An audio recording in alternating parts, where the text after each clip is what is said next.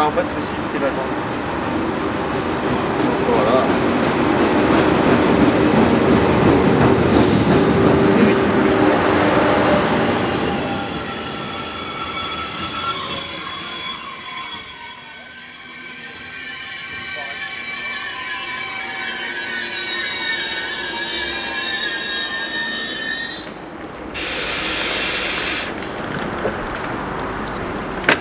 Actuellement acquis en point numéro 3, le TGV Louis 6150, destination de Paris, départ prévu 6h33.